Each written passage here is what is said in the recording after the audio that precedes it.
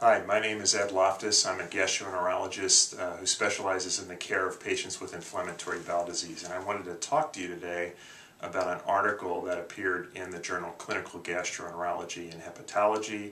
And this was a multi-center trial looking at the ability of a drug called mesalamine or 5-ASA in driving down a marker of bowel inflammation. And this marker is actually a, a, a protein found in white blood cells called calprotectin.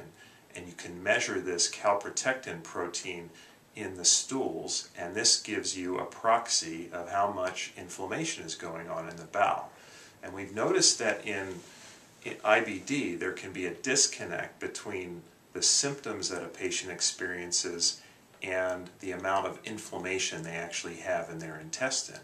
And so one of the dilemmas is when we're following people, do we follow them based on their symptoms alone or do we use a more objective marker of inflammation? And so in this study, they took a group of roughly 100 patients with ulcerative colitis who symptomatically were in remission, but a group of them actually a majority of them, still had markers in the stool, this fecal calprotectin marker, showing that there was still ongoing inflammation.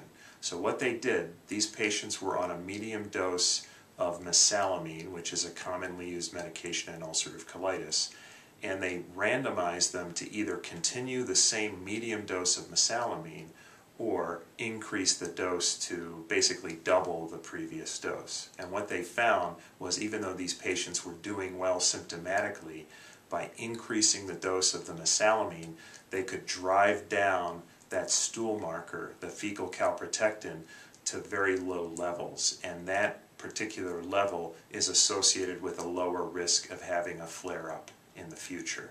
So again, this drives home the idea that if we follow patients based on their symptoms alone, maybe we're not optimizing their therapy and maybe we need to use a more objective marker and whether that marker is doing a follow-up scope or fecal calprotectin or some other objective marker of inflammation, we're probably going to do our patients uh, uh, a better job of getting their symptoms under control and keeping them in remission. So this was a, the, the, this was an interesting concept trial to say, okay, let's not just follow symptoms, let's follow something more objective.